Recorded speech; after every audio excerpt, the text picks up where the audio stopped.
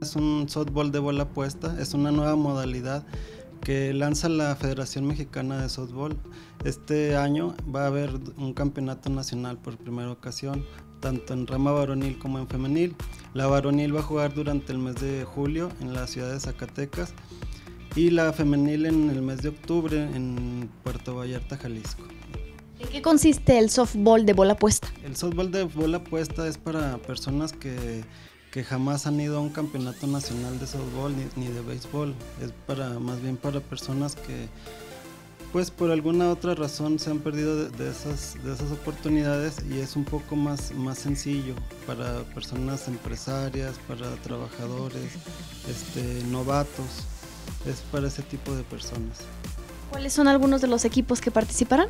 Mire, tenemos por ahí este, a ustedes, a la prensa deportiva encabezando el, grupo A. Tenemos al Deportivo de los Hermanos Ibarra, Coyotes, los Abogados BH, este, un equipo de la Noria, la Clínica Solís Mugiro, los Villanos y Pisali. Son ocho equipos.